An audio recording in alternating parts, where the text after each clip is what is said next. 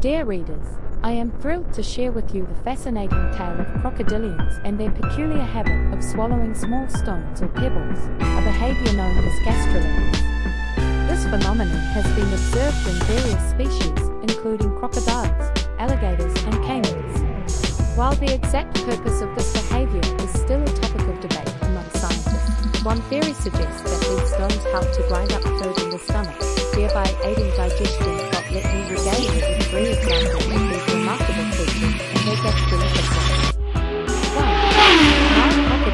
These majestic reptiles have been known to swallow stones and pebbles, which are believed to assist in breaking down their food, particularly when it comes to digesting the bones and shells of their prey.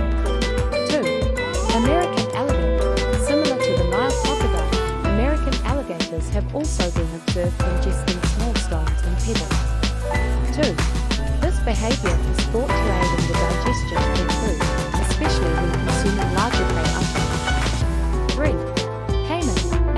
mentioned earlier, caimans, a type of alligator, have also been observed swallowing small stones. 3.